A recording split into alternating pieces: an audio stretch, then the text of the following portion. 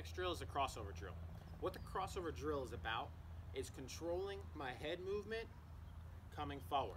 I'm creating a stretch towards the pitcher and in a stride with my lower body. My upper body is remaining back. So what we're gonna do, sit up in your normal spot in the box. Take your, I'm a righty, so I'm gonna take my left foot, put over my right. Slight bend in the back leg. Hands comfortable, kind of just walking away from my hands as I cross over. When I cross over, I'm thinking about coming up, then stretching out. As I stretch out, I'm gonna sink into my back leg. When I sink into my back leg, that's gonna keep my head over my back hip. Right here, nice and loose. Boom. Again. Boom. Okay.